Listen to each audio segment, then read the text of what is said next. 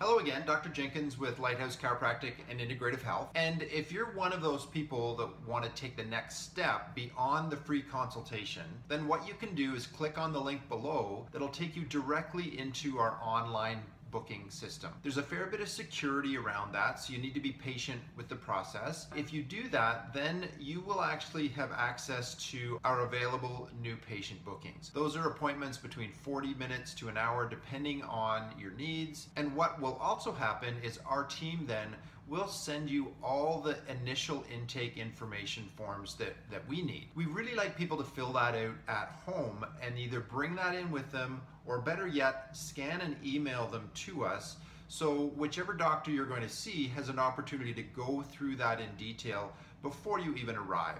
The whole goal of our new patient process is for you to spend as much time with the doctor as possible. Get the paperwork out of the way, it's necessary, it's really important to get all that information but your doctor can review that before you show up. So we're prepared and we can actually do a really thorough exam. That exam may include x-rays depending on what we find during the first few tests. But we've got our own full digital hospital grade x-ray suite in the office so you don't have to make another appointment, go back through your family doctor. You can actually get that all done day one so we know exactly what's going on and what we can do to help. Our goal in that initial discovery visit is really to see are you in the right place? Are there things that we can really help you with?